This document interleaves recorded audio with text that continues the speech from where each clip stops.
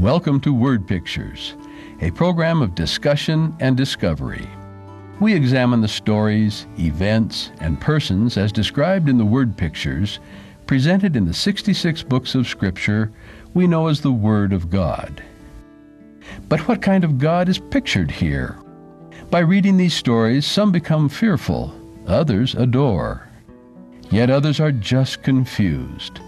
Come, let us see for ourselves in an unrehearsed, no question barred discussion with people just like you as we search for the God of these stories. What picture of God will emerge for you?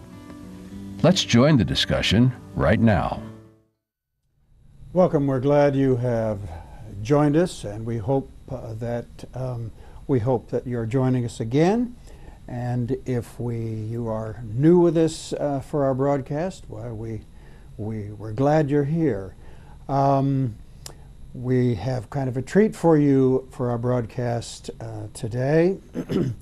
As those of you who have been with us know, that we have been spending a little time going through the book of Revelation, and we are very near the end of this uh, magnificent book. It is an interesting book. Uh, it is filled with strange beasts and all kinds of symbols and angels and scrolls and all kinds of things. And Ken and I were discussing shortly before the broadcast started that there are probably a lot of people who, who open this book and read and, and get bogged down in it all in the middle with all of this strange stuff and never get to the final two chapters of the book, which are so glorious. It talks about um, talks about the end of it all and how wonderful it's going to be. In our last broadcast, we, uh, we read some passages about a magnificent city and uh, some other things uh, of what the world is supposed to be like um, toward those end times. And tonight, um, we're going to be looking at uh, one of the things we'll be looking at is a, is a magnificent river.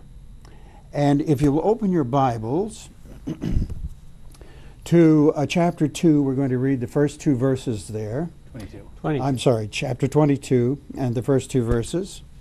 And uh, I'm reading from the Good News Translation. So read along with me uh, in your Bible, if you will. And it says The angel also showed me the river of the water of life, sparkling like crystal, and coming from the throne of God and of the Lamb and flowing down the middle of the city's street. On each side of the river was the tree of life, which bears fruit twelve times a year, once each month, and its leaves are for the healing of the nations. Well, Ken, let's find out some more about this remarkable yeah, river. That that's a very interesting river, and we're going to learn more about it, quite a bit more about it before this session is over, I hope in the new earth, is it possible that there will still need to be healing for the nations? I thought everything was going to be perfect in this new earth. Why would we need healing? Or was John speaking on God's behalf, suggesting that our world is still broken and needs healing? We, um, we seem to talk a lot about healing around this part of the world, here at Loma Linda, with this huge, gargantuan uh, medical center here and a university that focuses on making man whole. But Revelation seems to suggest that true wholeness will only be possible in the next world. And so look at the next two verses, verses 3 and 4, and I read I heard a voice, a loud voice, speaking from the throne. Now God's home is with people. He will live with them, and they shall be his people. God himself will be with them, and he will be their God. He will wipe away all tears from their eyes there will be no more death, no more grief or crying or pain. The old things have disappeared. So we talked about that quite a bit last time. A lot of bad things are going to be gone, right? But God here, even in the New Jerusalem, is going to be wiping tears away. Why would that be? Or is that figurative that there won't be tears? That's a possibility. Poetic, poetic or, license. or is it possible that there will be still death? Well, not in the ongoing New Jerusalem, but we're going to be in that New Jerusalem at the time when all the wicked perish, are we not? Hopefully. We'll be inside, not outside. That would be an Adventist Respect- chronology, Yes. eschatology. Yes. Well, we're suggesting several things. One is eternity is not a timeless situation where there's just no time. We're suggesting that eternity is going to be time without end. It's a very different picture. In other words, there is going to be time, there's going to be Sabbaths, there's going to be months. Isaiah 66 talks about that. Remember that in the Greek, the word forever or forever and ever simply means as long as it's supposed to last. Well, in a in a sense, Ken, isn't isn't eternal life for the converted Christian? Hasn't that begun already? Hopefully, that's that was Jesus' suggestion. Yeah. So, but for the righteous who live into the joy, enter into the joy of God's companionship in the earth made new, there will be no more death, and so that we believe is the end of all evil, the end of death, the end of sickness, the end of crying, etc. When that finally happens. So, in the first two verses of Revelation 22, we discovered a river of life. It flows from the throne of God. Where did this idea first come from? A, a, a fancy river flowing out of an important place? Garden of Eden. The Garden of Eden, sure. Revelation 2, remember that river flows out and it went split into four? Well, there's some other places in the Old Testament we, we see famous rivers flowing. Look at Zechariah uh, 14, verse 8. When that day comes, fresh water will flow from Jerusalem, half of it to the Dead Sea and the other half to the Mediterranean. It will flow all year round in the dry season as well as the wet. And here in California, we can understand that. Some places in the world, they have a hard time understanding rivers that dry up in the dry season, but it certainly happens in the Middle East and it happens in California. I remember even as a young person first coming to California, they used to tell us this joke, and it, at first I heard it and I, it sort of hit me in the face. I said, uh, the little girl runs into the house. She says, Mommy, Mommy, Johnny fell into the Santa Ana River. Mommy says, Well, pick him up and dust him off. He'll be fine. So we're not used, people in other parts of the world aren't, aren't quite used to that happening in a river. But look at Ezekiel 41. There's some very interesting ideas there. I'm sorry, chapter 47, verse 1. We're going to read the first few verses. I'm going to run through this real quickly. The man led me back to the entrance of the temple. Water was coming out from under the entrance and flowing east, the direction the temple faced. It was flowing down. Now, this is talking about what temple? Ezekiel's temple. Ezekiel's temple. Where, when was that built? Yet to be built. Yet to be built. Okay, so this is talking about, if we assume, it's talking about the temp- some kind of temple that will be in the future. It was flowing down from under the south part of the temple past the south side of the altar. The man took me out and showed around. Anyway, to, to make a long story short, this river rose, flows out of the city and it gets deeper and deeper as it flows, and there's no mention of any tributaries. How does that happen? Is it possible for a city, uh, for a river to flow and get deeper and deeper?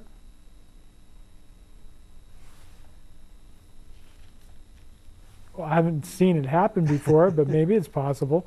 This is not your typical river. Not only that, the water brings fresh life wherever it flows.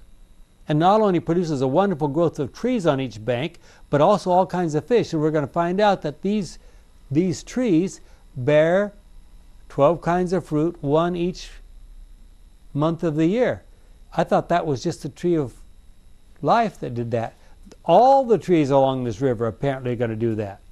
And what's going to happen to the water that flows into the Dead Sea? It's going to make the Dead Sea fresh again. And there will be fish there. So are we to uh, understand that we're going to have more than one tree of life? Well, I'm, I'm just telling you what the Bible says. I think Um, probably the answer is yes. In Revelation, it seems to talk about one, right? Mhm. But in Ezekiel, it talks about going along this water All along here, the river. and they're all planted along there. So Yeah. So we've now seen a couple of interesting things about this river. By the way, um, what it, where does this city have to be located if the water flows out and keeps flowing away in two directions? Where does the city have to be located? Usually, one would consider it would have to be on a hill. Yeah, it would have to be on top of a mountain, or even if it's if it's going to flow continually away, isn't wouldn't it? Yeah. There's no place on earth right now, and no place in the Middle East that fills this criteria. So we're talking about some kind of a new place here. Um, but yet, it, the water goes down to the Dead Sea. yeah, sure. The de- everything flows to the Dead. Everything that possibly can get near flows to the Dead Sea. It's the lowest dry place on the earth. So, assumingly, there is a place there. Wouldn't you think? Well, the the question is, it water is supposed to be flowing in both directions Mm-hmm. from this presumed mountain or whatever, and it's going to make everything fresh around it. So, and not only that, the leaves are for the healing of the nations. What does that imply? It's something sick. Well, maybe. Or maybe there's maybe part of what happens when we get to this new city is that whatever was wrong with us will be healed by eating of these leaves. By the way, is is that a common thing? Is is do we uh, do we make medicines out of leaves? Yep. We make a lot of medicines out of leaves.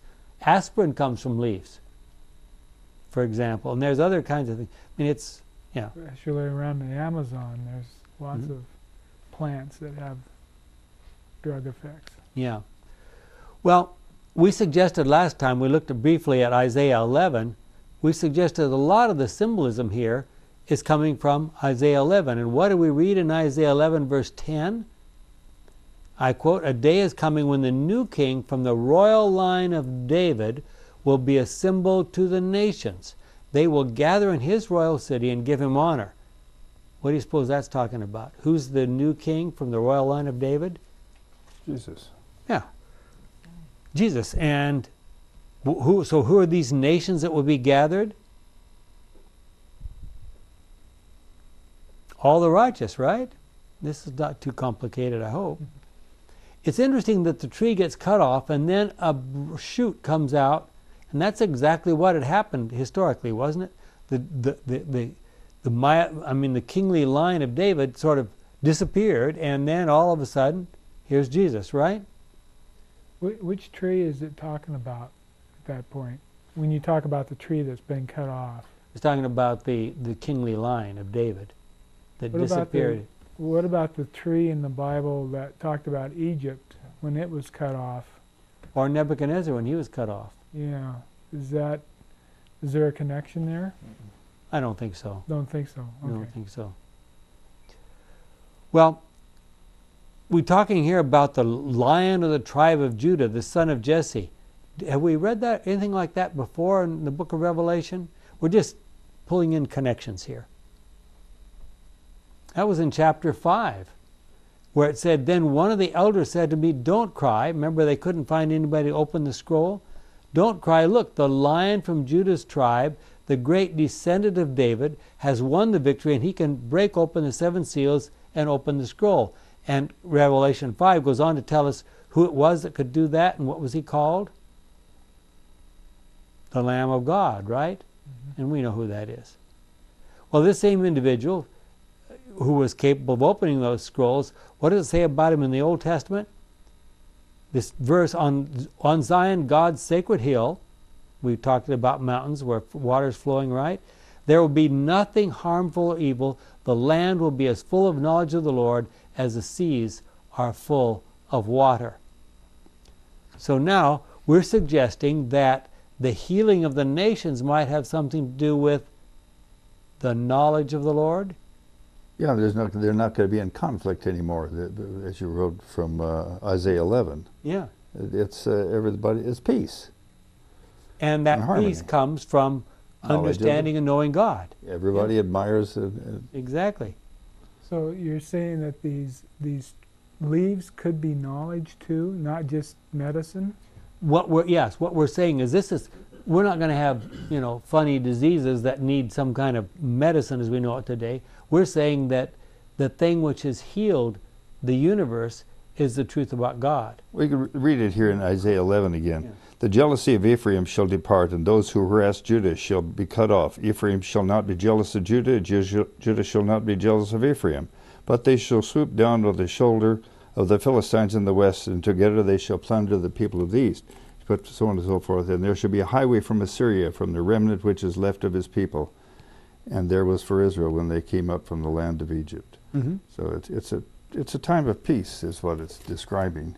But you you read a, a piece there about the knowledge Mhm. about, God, about God. That was uh, Isaiah 11, verse 9. The land will be as full of knowledge of the Lord as the seas are full of water. So, Uh, it it seems like I kind of what brings my mind over to the um, the the sanctuary Mhm. of God. That was that that had a lot of symbolism in it there that everybody studied to find out about God. Mhm. And then you got Ezekiel's temple Mhm. that goes somewhere in there, yeah, which which might be the avenue where we'll learn about God also. yeah, So not only the leaves, but that that system. yeah. And I, but I would like to emphasize the point is learning about God is the solution to the world's problems because uh, the misrepresentations about God, lies about God perpetrated by the devil is what we got what got us into this mess and what's perpetuating us in this mess. So the solution to lies and misrepresentations is telling the truth. So I think that's the ultimate healing of the nations. At least that's the way it strikes me. Hmm Um, John borrowed a lot of ideas from Ezekiel and from Isaiah. Um, going on now, Revelation 22, verses 3 and 4. Nothing that is under God's curse will be found in the city. The throne of God and of the Lamb will be in the city, and his servants will worship him. They will see his face, and his name will be written on their foreheads. What is implied by the idea that we will see his face? Does that remind you of anything you read in the Bible earlier? What happened? Moses. Moses did what? Moses wanted to see God's face, and God said "I'll let you see the backside. And, and uh, for 40 days after that, well, he was with God for 40 days, and he went down, and the people couldn't look at him. Yeah. Was- Well, but it's interesting that in, in Exodus 33, verse 11, God said, The Lord would speak with Moses face to face, mm-hmm. just as someone speaks with a friend. Then Moses would return to the camp, but the young man who was with his who was his helper, Joshua, son of Nun, stayed in the tent, and it goes on to talk about that.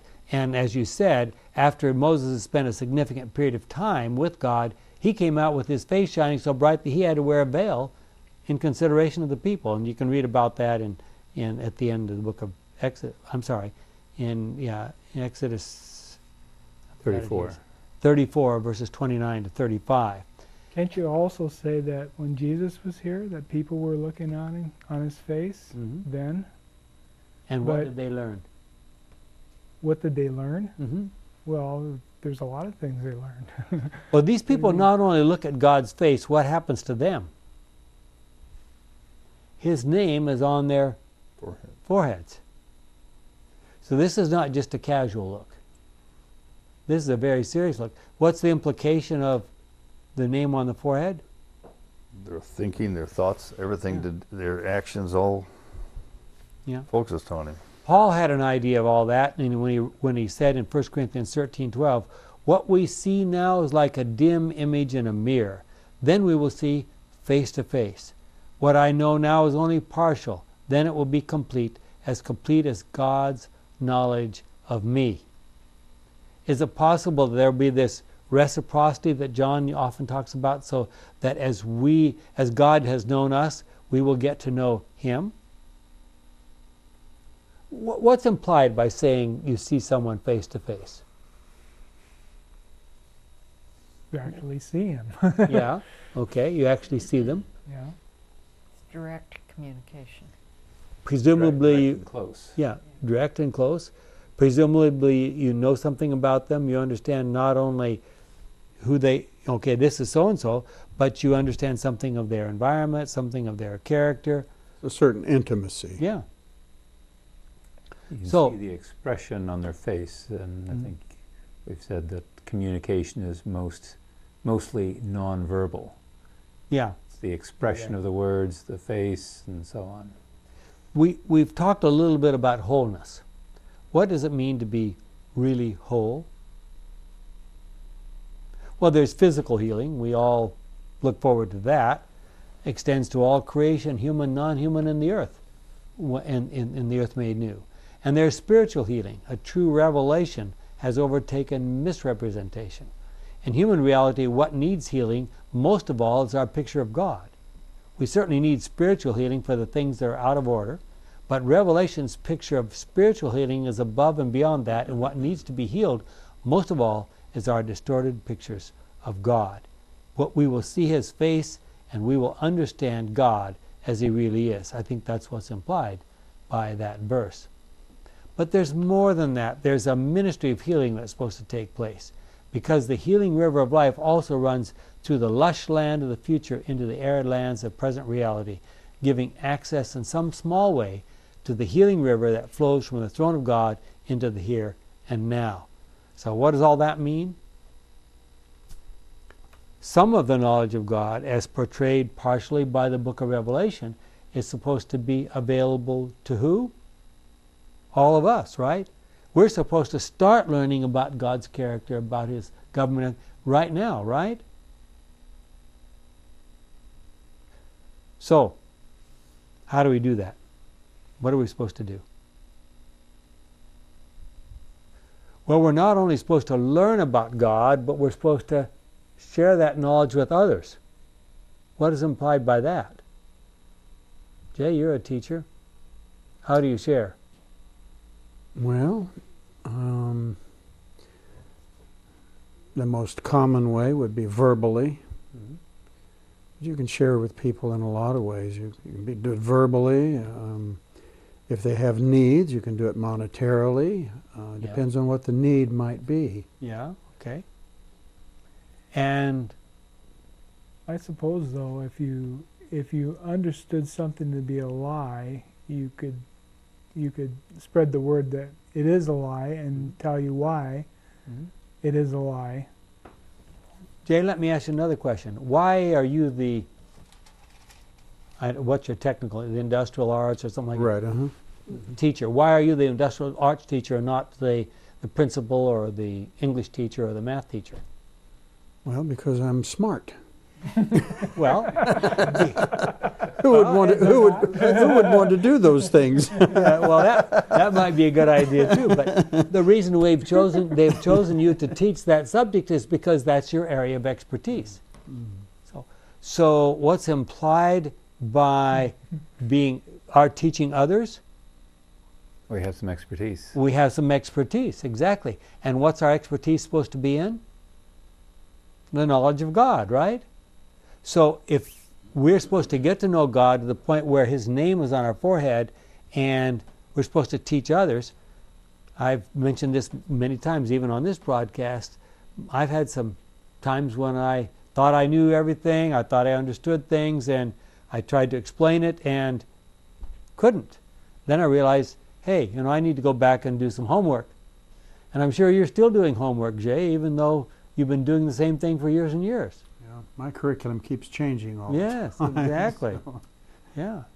So don't you think our understanding of God will keep changing? Yeah. He won't be changing. No. My understanding of him, my the my increase of my intimacy with him will. Yes. will What we're going to discover, what we're going to find out is there's so many things to learn about God, there will be no end to it. No end to it. Now, many people have looked at the book of Revelation and thought that they need to figure out what each symbol applies to. Okay, this means this, this means that. So, what's the time period? When happened? And these, these, here's where the Muslims are represented, and here's where the Christians are represented. You know, every detail. We call that a kind of decoding. That's not what the book of Revelation is supposed the way it's supposed to be read. Uh, there's a lot of barriers to understanding when you try to do that. Because people come, as we've done here, as you all do to me when I come with my ideas, well, maybe it's not quite like that. Maybe things are a little different. Have you ever heard anything like that here? Wow. Okay. well, what are what are the barriers to our understanding God today? What kind of barriers? stand in our way? Usually, uh, preconceived perceptions and Yep. concepts and understandings. The classic example in my mind is always found in the Bible in Luke 18, verses 31 to 34. This is just blows me away every time I read it. Jesus is traveling with his disciples and a lot of other people up the road from Jericho, up that narrow pass to Jerusalem. And he knows that when he gets to Jerusalem, what's going to happen? He's going to be arrested and tried and crucified and all that kind of stuff. So he, well, look what he says here. Jesus took the 12 disciples aside, take him out of the, out of the crowd, set him aside here for a moment. He said to them, Listen, we are going to Jerusalem where everything the prophets wrote about the Son of Man will come true. Now, they all should have known the prophets like the back of their hand, right? He will be handed over to the Gentiles. Is that hard to understand? Who will mock him, insult him, and spit on him. Is any of that hard to understand? They will whip him and kill him, but three days later he will rise to life.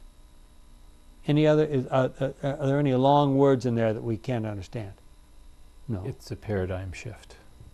But the disciples did not understand any of these things. The meaning of the words was hidden from them, and they did not know what Jesus was talking about. That term hidden from them, we usually interpret that to mean that somebody has deliberately deceived them. hmm But in that, is that really meaning? Should that be better be, be interpreted that they just didn't they didn't understand? It's not something has been You don't think God would- deliberately hidden from them. It's it was Because if we go back, we'll find out Jesus has tried to give them this same message. Even we don't know how many times that we don't have recorded, but this is the third or fourth time that we have recorded that he's tried to tell them the same message. And each time he gives them a little more detail. And this is the final time, and he gives quite a lot of detail. I mean, but they were so stuck in the idea that, that Jesus was going to be the Messiah, and he was going to be their king, and he was going to get rid of the Romans.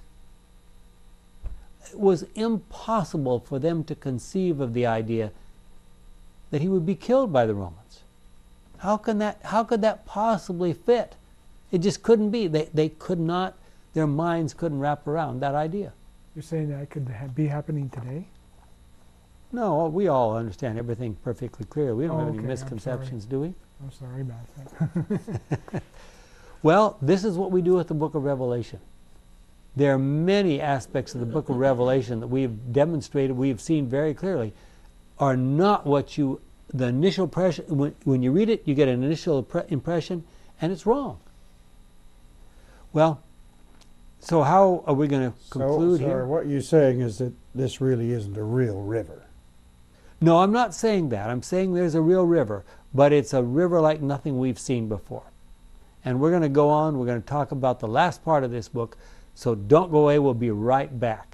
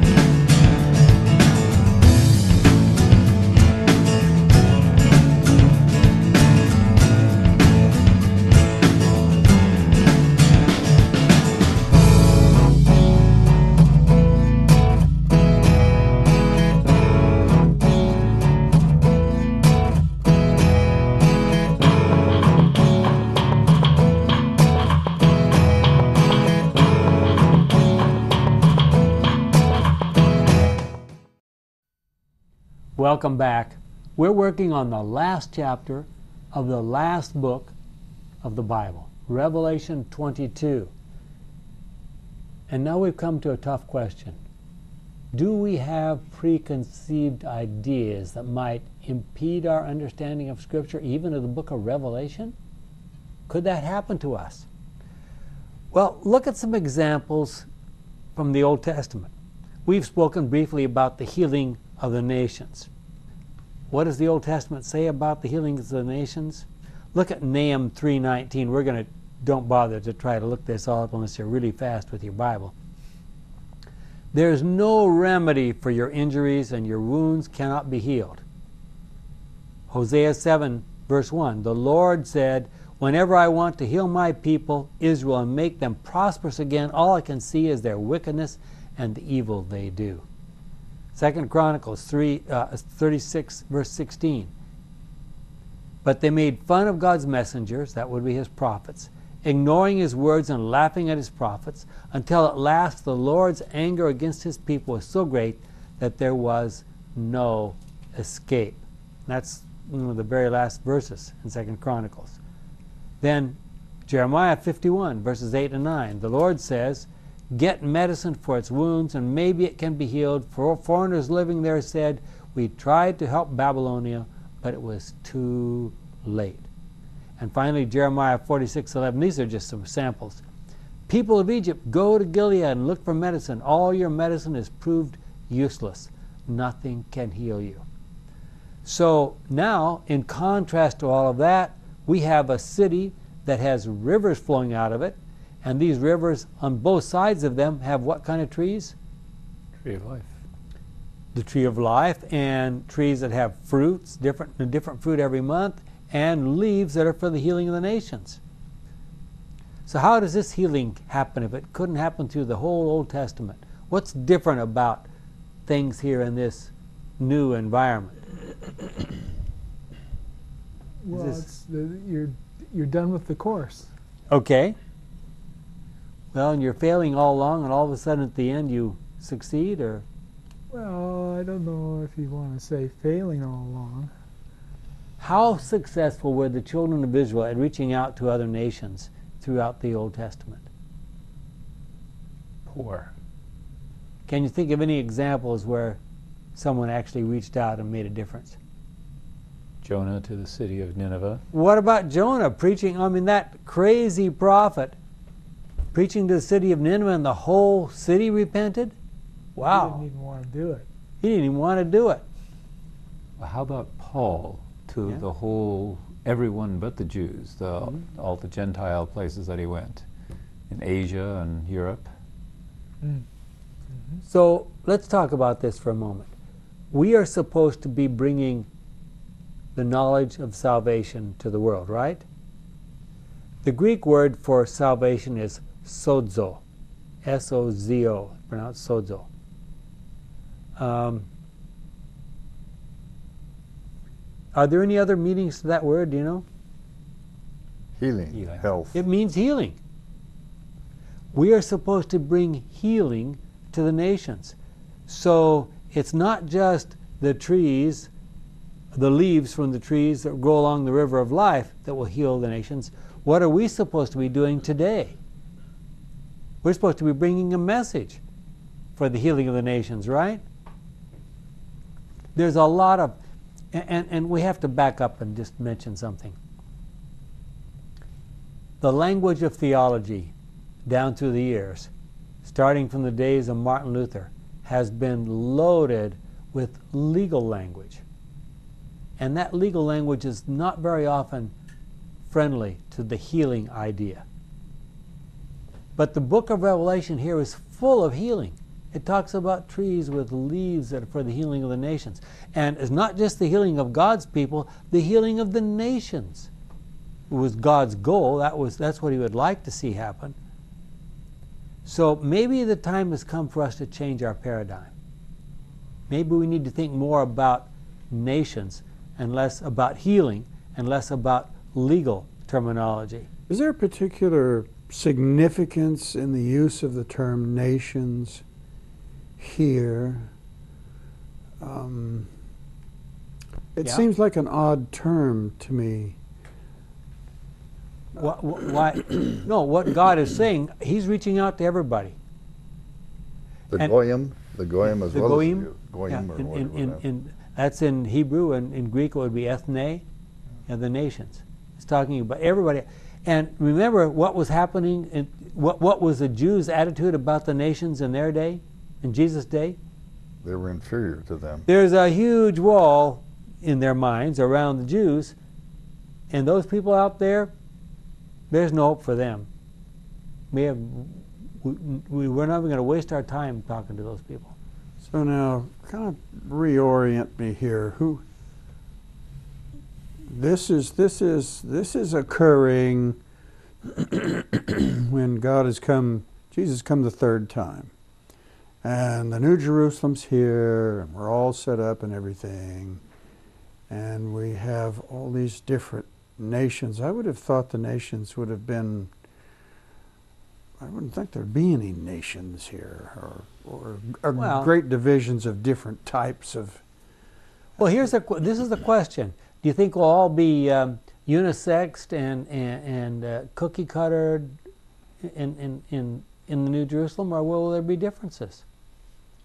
I don't know. I just figured we'd all be kind of like Adam, whatever he was, and my perceptions of all these you- nations that we think of nations today are a byproduct of. Uh, perish the thought, some kind of weird evolution or something that's a product of We- we- sin. Are we gonna are we gonna have to walk down the street and look at everybody's name tag? They all look the same. The only way you can tell the difference is them is a name tag. The faces will be different, but you know, Well, you- I, could- I- could my there be- perceptions there won't be uh, um, black people. There won't be people that are putty colored like me. There won't be people that are are red. Um, Mhm. and Why not? why not? Yeah. Well, because that wasn't the way to that it started. I mean, if we are to assume that that's the natural progression of things, it's not necessarily a byproduct of sin, and you know, then I guess maybe we'd be reasonable to assume that well, eventually there'll be people with polka dots and stripes, and so I guess that might be all right too. But I don't know. It just doesn't seem. Uh, I, I maybe here we are. I'm maybe I'm painting this thing into We're- here with the wrong paradigm. We're we're, You t- we're, ta- we're talking about certain impediments to thinking, aren't we? yeah. Well, I don't think this is an impediment. I think this is correct, but What Okay. if what if we um, we thought the nations were? What if we're just limiting ourselves to us? Why couldn't the nations be people in other worlds also? Because it was used that way when Nathan, when Satan was thrown to the earth, Uh-huh. became a spectacle to the nations. Yeah. Okay, well, we only have a few minutes left, and I want to save the last little bit because we're now moving into the epilogue. What's the epilogue? The ending. Final. We had a prologue back in chapter 1. We're now moving into the epilogue. Let's look at Revelation 22, verses 6 to 7. Then the angel said to me, These words are true and can be trusted. Now, does that remind you of anything about Genesis 2 and 3? And the, Lord God, who gives his Spirit to the prophets, has sent his angel to show his servants what must happen very soon. Listen, says Jesus, I am coming soon. Happy are those who obey, obey the prophetic words in this book. True and can be trusted. And what did Satan say about God right back in Genesis 3? That's a lie. That's a lie. So what have we, we started out with Satan accusing God of being a liar. We come now to the end, and what do we find? God is absolutely and completely trustworthy. Have we learned anything in the 66 books of the Bible? I hope so. Well, why does John even need to mention the trustworthiness of God? Well, when I read that, I didn't quite get that. I I got that the book was so fantastic that um, people would kind of wonder if it was really Could really true. huh? really be true, and and um, all Don't the you think that's- interpretations that come out. Don't you think that's all true? Well, yeah, Yeah. I think the I think the architecture in the city, the conditions of living in the city, the conditions outside the city, maybe the garden homes that we'll be able to build somewhere future, eventually, are going to be beyond our wildest imagination. We we know that Ellen White said at times, and the passage I was going to read last week, I didn't get a chance. She, she, she would come back and she would just say, Oh, if I, if I could just talk the language of Canaan. I, I, there aren't even words to describe what I saw. So, yeah, I think so. So, the question has always been who is telling us the truth? Who can be trusted? And now we know, right? And the next two verses I, John, have heard and seen all these things, and when I finished hearing and seeing them, I fell down at the feet of the angel who had shown them shown me these things. I was about to worship him. John is about to worship who? Angel. An angel. But he said to me, Don't do it. I am a servant together with you and with your brothers, the prophets, and with all those who obey the words of this in this book, worship God. Once again, we see talk about angels. You cannot take the book of Revelation seriously and not understand that what has happened in the angelic realm has impacted us here on this earth. And where do we see that pictured? Revelation 12, right? Where did the conflict, where did sin begin? Where did the conflict begin? God's. In heaven, among the angels, right? Unfortunately, theological scholars have almost deleted angels from their thinking. Many so called scholars do not believe the devil even exists. How could such a thing happen? Why would it happen? Well, the devil would just love to have us believe that he doesn't exist. Why? In the near future, we can expect the devil to perform miracles, or at least apparent miracles. And if we do not believe the supernatural world of angels exists, then we will have to attribute those miracles to God. And that is exactly what the devil wants us to think. Because he's going to come and he's going to claim that he is what? Jesus. God. God. Right? And he wants us to think those miracles could only happen by the power of God. Well, Karl Barth, probably the most influential theologian in the 20th century, basically dismissed the idea of angels. So, what should be our challenge as Seventh day Adventists? Does that bring us any challenge? If we believe that our, our, our, our challenge, our, our, our duty is to teach the world about the book of Revelation and the three angels' messages, does that mean we need to clarify and, and make and, and teach the world about the truth about angels? Surely that ought to be a part of it, shouldn't it? what are we doing? Are we clearly representing to those around us the whole story of the great controversy? Well, what do angels do in the book of Revelation? Usually messengers. Yeah. Yeah. And so they're actually representing God, aren't they? So we can understand why John might feel like he should bow down and worship them.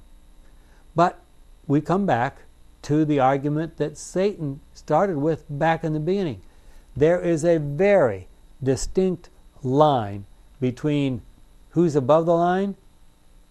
God. Who's below the line? All creatures, including who?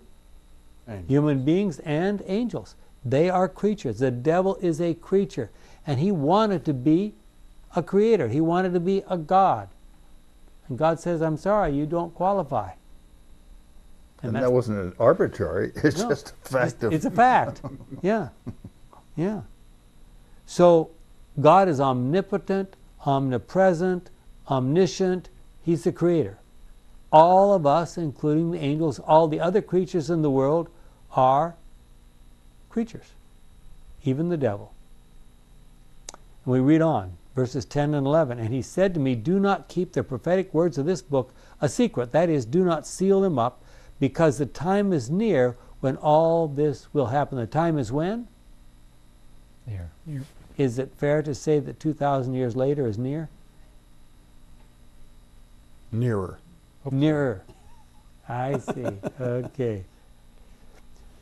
Then he goes on to say a very significant verse Whoever is evil must go on doing evil. Whoever is filthy must go on being filthy. Whoever is good must go on doing good. And whoever is holy must go on being holy. Is he talking about humans being holy or Yeah. God being holy? What is Well- he saying there? What is he saying there? Is he making a pronouncement? No more Putting decision glue- time. I mean, put it- putting all the glue on? been made. He, I think he's saying that God's judgment will be very simple. It'll be clear to everybody looking on. Here are the people who are, should be a part of God's people, and here are the people who should, are not a part of God's people. And all you got to do is draw a line. I think he's reaffirming that he's the God of freedom. Yeah, sure. I think that's that's the big thing right there. He allows us to steal our own fate if we want to. But Yeah. let them do what they do.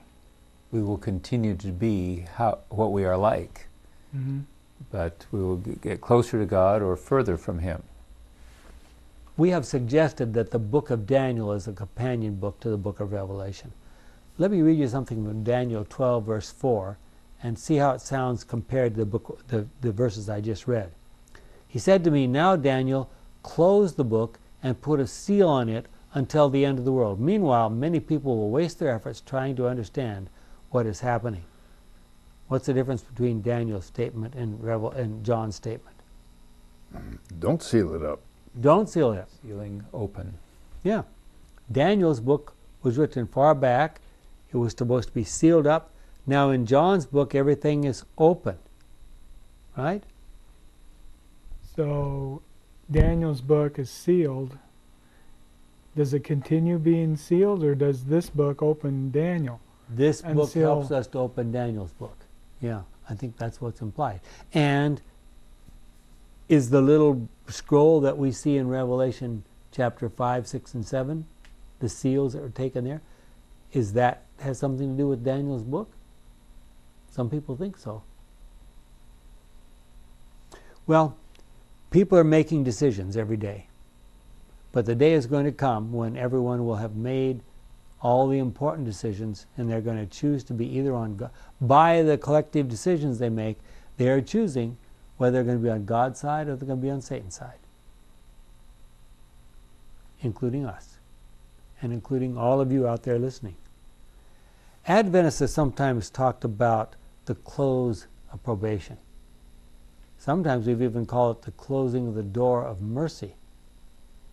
Is God going to, at some point in time, arbitrarily close the door, and say, sorry, time's up. If you haven't made up your mind by now, it's too late. Is that ever going to happen? No. No. Well, How will, how will all this come to an end if that's not going to happen? He, you have to understand what he's saying there. Okay. I, Which, which is, I think there will. I think there will come a time when people have have made up their minds.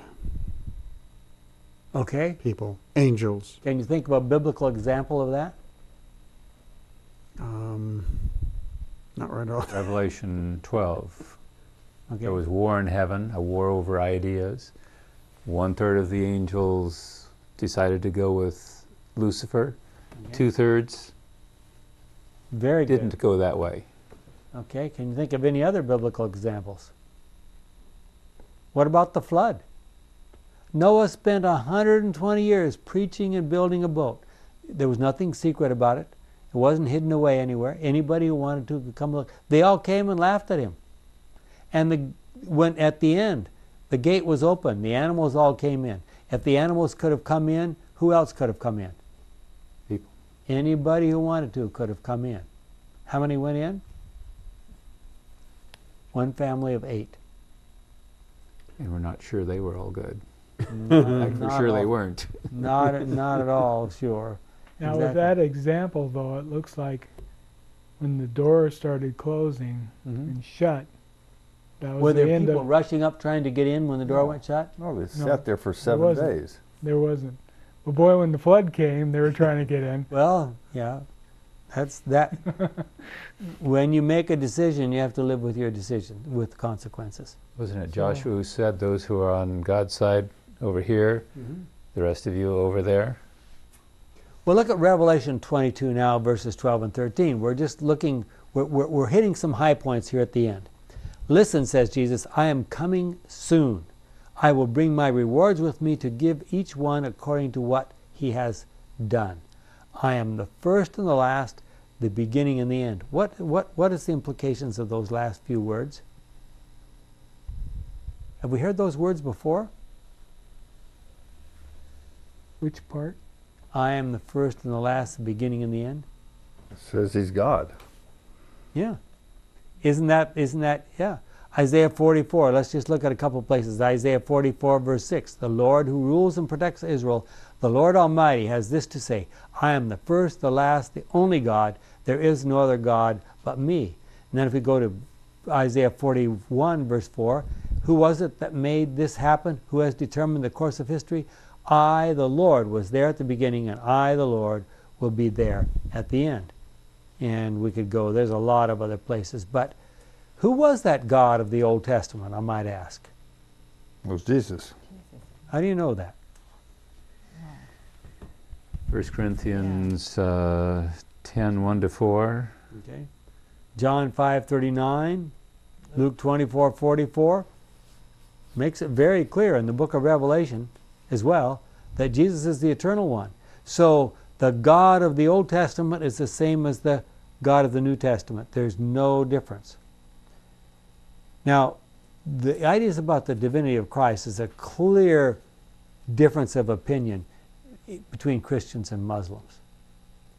And if we as Christians try to explain the existence of Christ and what he's all about simply in philosophical terms as as the early Christians did in those long councils of Nicaea, etc., we're, we're bound to lose.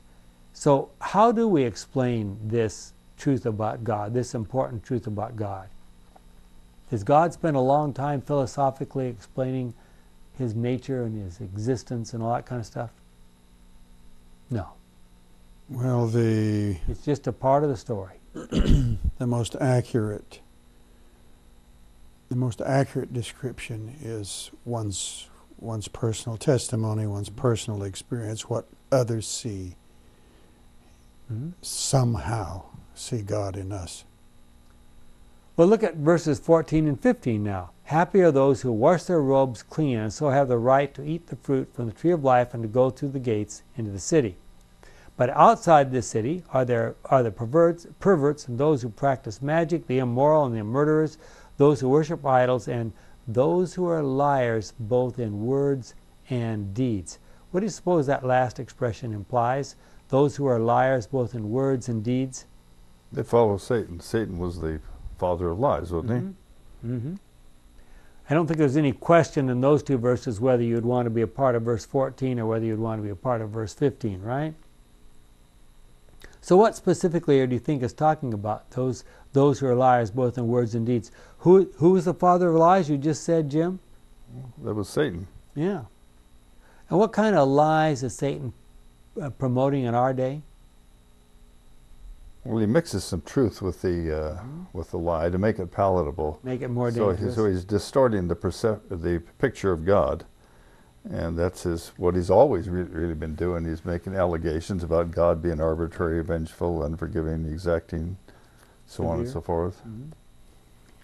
well, let's take a doctrine that's very commonly believed. What about the doctrine of the eternally burning hell? Which has driven more people, more thoughtful people away from God, hasn't it, than any other teaching? Yeah, very much so. And whole denominations recently, the Anglican Church a few years ago just says, we're changing what it says in our books. Our people no longer believe in hell. So, do Adventists have anything to say about hell? Well, we say, no, hell isn't that long, forever, burning, and all that. We just have a shorter version of hell. is, that, is that any better? You'll only burn as long as you deserve. Only burn as long as you deserve. Mm-hmm. And for to burn a, a creature that never asked to come into existence, no, no, no of God's creation had a bargain with God to to be created. So, I mean, and God is love, and it's a hard job. He has to try to uh, educate this cre- creation. Well, sin is pretty uncomfortable stuff. I mean, it it doesn't it isn't very healthy. No, Look at verse 16. We, we need to sort of wrap it up here. I, Jesus, have sent my angel to announce these things to you in the churches. I am descended from the family of David. I am the bright morning star. Lucifer, Does that remind you of anything? Hosea. The bright morning star is a Lucifer, isn't it? Yep. Who's the real Lucifer? Is Satan? Can Satan be called Lucifer Don't in our call day? him Lucifer anymore. No, he. Some people think that they need to name, name their black cats Lucifer. That's a huge mistake. The white cat. Yeah, you should name a white cat, cat's Lucifer if you want to do want to name a cat something like that. The real bright morning star has now stood up, and it's, this should remind us once again of Revelation five and Isaiah eleven. How many times do we need to repeat that? So the Bible ends with a sort of summary of all the Bible in one word. And what is that one word? Well, some people think the Bible is all about how man gets saved. Maybe their word would be salvation. Other people think that it's a way of bringing God and man together, and that's probably closer. They want to call it reconciliation. But what does the Bible say? The Spirit and the bride say, Come. Everyone who hears this must also say, Come. So everyone who hears this, including all of you out there and all of us here, what are we supposed to be saying? Come. Come, whoever is thirsty, accept the water of life as a gift, whoever wants it. Water is not an op- optional thing. We absolutely have to have it or we don't survive. So, in the book of Revelation, we have seen many things and we have tried to look at them. We're going to take one more time next week to try to summarize, just briefly, some of the things we've learned and finish up the last few verses of this book. Hope you'll be there at that time. Revelation has promised us access to the waters of life that flow from the throne of God. And we would like to access those waters even today. Join us, won't you?